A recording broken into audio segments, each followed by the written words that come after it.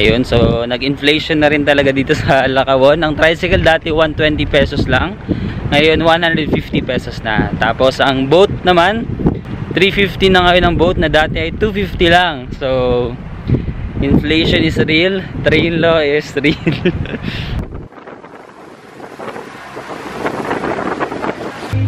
Hey guys, so I have just arrived here in the island, in Lakawan Island. Yeah, welcome to Lakawan. So, it's very quiet now. Hey guys, so good morning. Today nandito kami sa Lakawan Island.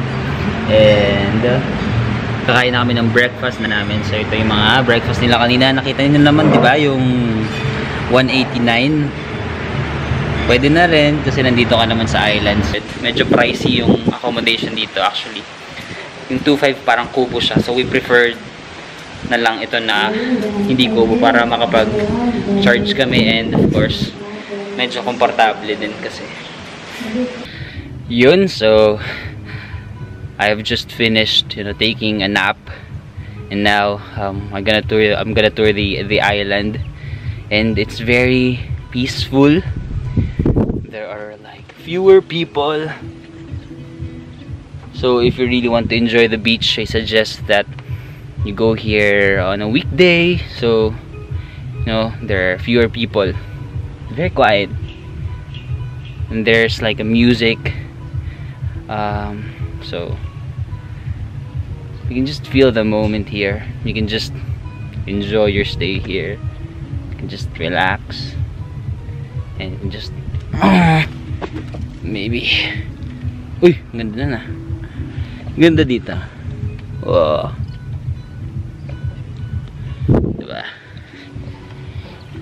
you can just relax here at the beach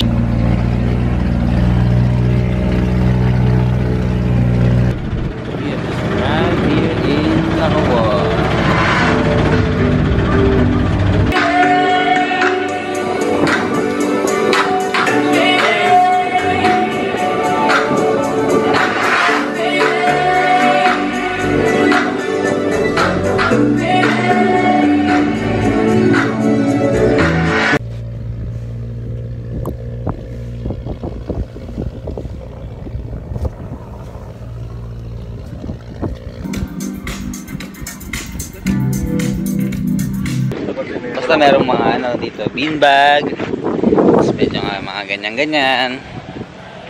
Tapos pwede kayong bumili ng, of course, you can buy um, food and drinks sa kanilang bar. Then you can also like chill here. You can watch the sunset. You can swim. They also have like this, ang tawag dito, yung parang bumby jumping like that. So you can enjoy that. Then of course you can eat. And you can have your photo shoots here. Anyway we have to go back to the island because they're gonna close now actually. They're already extending hours.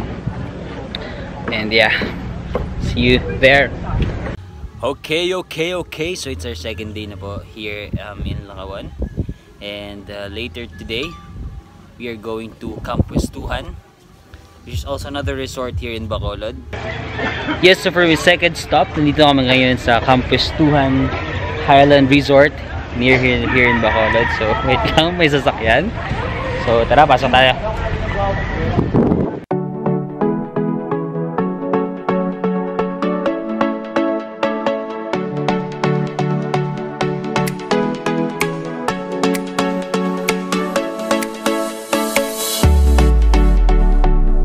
welcome. So, nandito kami ngayon sa Indian Houses. At syempre, bago tayo pumasok dito, kailangan muna tayong kumanta ng kanilang theme song na One little, two little, three little Indian, four little, five, six little... Okay, so nandito kami ngayon sa The Ruins, dito sa Bacolod. At wala, mag-chill lang kami dito. Dito kami magla-lunch. And tara, tour ko kayo dito. Yes, so nakapasok na nga po dito tayo dito sa bahay ni Kuya. I'm an official housemate na po dito sa bahay ni Kuya. So sayo muna tayo ng ano, iba't ibang Pinoy. Wag kang Pag malaki mo, Pinoy ko, Pinoy tayo.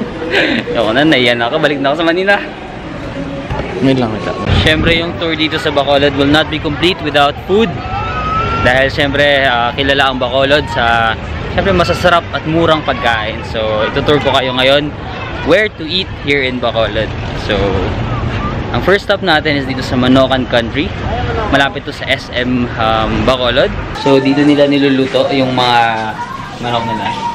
Kitang-kita nyo naman, very ano sila, no? Parang very classic. So, ayan na. Yan yung kakainin namin mamaya. Yes! Salamat, kuya. Alright, alright, alright. hindi makukompleto ang Bacolod food trip natin without piyaya. Ayan niya, piyaya, oh. Ayan niya. Zoom, zoom, zoom. Ah. Mmm. Mmm. Mmm. Okay, so for our next na kakain na naman dito ay ang Kalea, which is very, very sikat sa mga cakes. Siyempre, favorite, isa dito sa mga favorite ko. No? Alright, alright, alright. Gusto mo yun? Gusto ko yun!